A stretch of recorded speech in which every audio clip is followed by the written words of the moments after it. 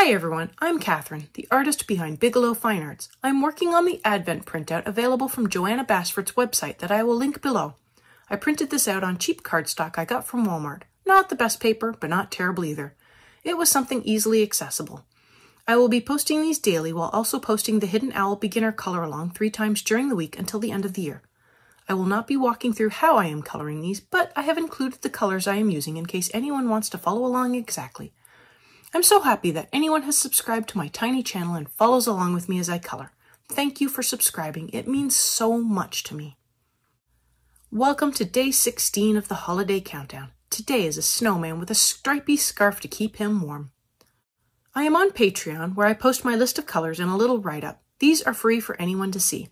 Thank you so much to anyone who has chosen to support me. Any amount helps, and that means that maybe one day I can get Prismacolors to help those who want to follow along with these pencils, or even get other coloring books.